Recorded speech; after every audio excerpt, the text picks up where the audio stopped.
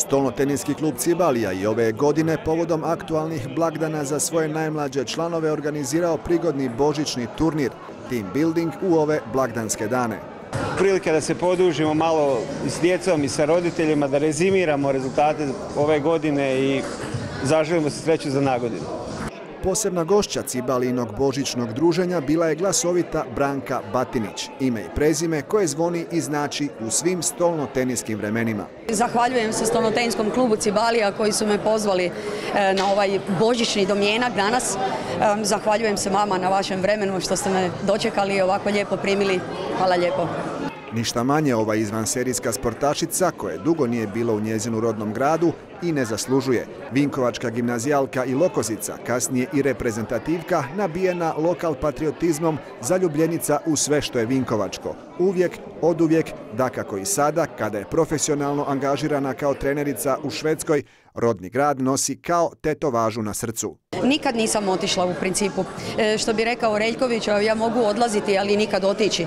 E, tako i sada. A Branka Batinić nekada 15 puta prvakinja bivše države u kojoj je 1975. proglašena i najboljom sportašicom, višestruka europska doprvakinja, svjetska bronca u paru s Dragutinom Šurbekom, za stolom je plijenila snagom volje i tehnikom koju je krasila specifična imaginacija. Još uvijek igram e, ovoga i branim boje i Vinkovaca, Zagreba i Hrvatske, diljem svijeta. E, igram u veteranskim konkurencijama, tako da sam nadopunila sa dvije titule prvakinje svijeta i sa četiri titule prvaka Europe. Sve vremena su pred vama i kineskinjama klecala koljena. Je, to je točno, da. E, I drago mi je zbog toga. Nakon impresivne igračke karijere, Branka Batinić ostala je u stolnom tenisu, danas je, kako smo već rekli, trenerica u Švedskoj i premda je sjever Europe za nju sretna destinacija, dojam je da nema ništa protiv povratka kući u Vinkovce. Na tu temu doznajemo, razgovori s Cibalijom već su otvoreni. Mislim da će naši razgovori i naši planovi koji imamo ovdje se realizirati i da će se možda i vratiti. Imamo planove da napravimo ponovo neki stolnoteniski slavonski centar e, od Vinkovaca pa želim nam puno uspjeha. Ne treba osobito pregnuti frontalne režnjeve mozga pa zaključiti što bi za razvoj vinkovačkog stolnog tenisa značio angažman akterice za koju u ovom sportu nema nepoznanice.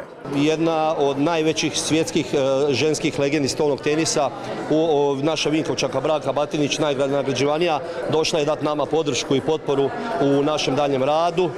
Imamo neke zajedničke teme za budućnost, za razvoj stolnog tenisa, vrlo je zainteresirana da na svoj način koliko može pomogne svojom strukom, utjecajem, vidjet ćemo kako će se stvari dalje razvijati.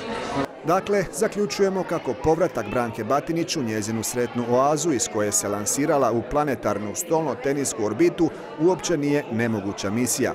Obostrana volja postoji, to je najvažnije. Za vatru su, kaže se, uvijek potrebna dva kremena. Tako je, da. I gdje postoji želja, postoji put. Da. Ja, ja se vama zahvaljujem na vašem vremenu. Sretan Božić, sretnu Novu godinu i, i sve najbolje. Hvala lijepo.